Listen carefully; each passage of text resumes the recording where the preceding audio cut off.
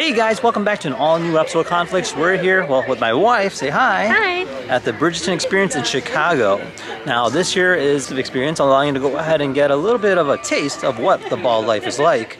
And uh, I'm sure Mavish is really excited. You ready? Oh, I'm really excited. So if you guys wanted to go and check it out, be sure to check out the link down below in the description. And without further ado, let's see what this is about.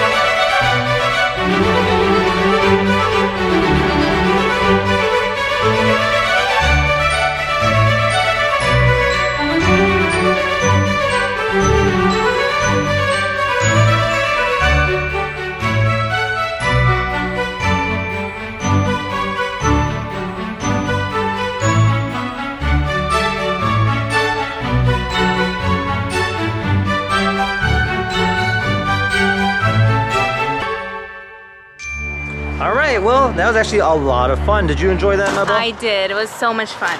What was your favorite part? I think my favorite part was the shows. The shows? Yeah. For me, it was more about the uh, experience prior to the actual ball itself. I, I thought it was actually kind of cool how they had a lot of different things that you can do. A lot of different photo ops. Mhm, uh, I would actually recommend coming a little earlier just because uh, there's a lot to do in a short period of time. and uh, overall, yeah, definitely a great experience and I would highly recommend it. And with that said, if you had any questions, comment down below. Otherwise, we'll see you guys next time. Take care now. Bye-bye.